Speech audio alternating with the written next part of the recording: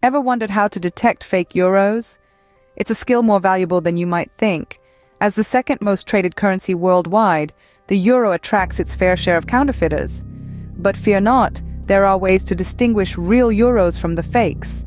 The first step is to feel the banknote.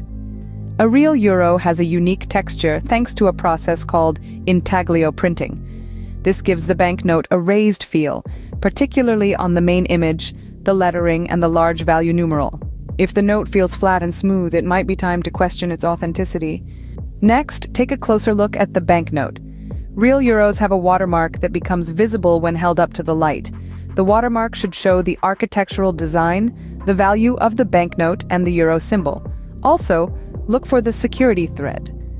This thin strip embedded in the banknote will also reveal the euro symbol and the banknote's value when held up against the light. Now for the third step, give the banknote a little tilt.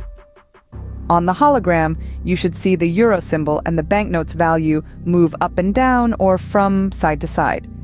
On the new Europa series of banknotes, you'll also see a portrait hologram of the mythological figure Europa. Finally, look at the banknote under ultraviolet light.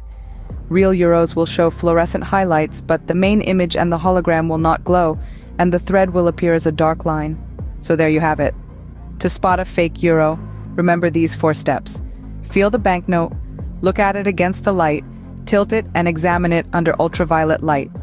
With these tricks in your pocket, you're ready to outsmart any counterfeiter on the loose. Remember, the power to protect your pocket rests in your hands. Stay vigilant, stay informed, and keep your hard-earned money safe.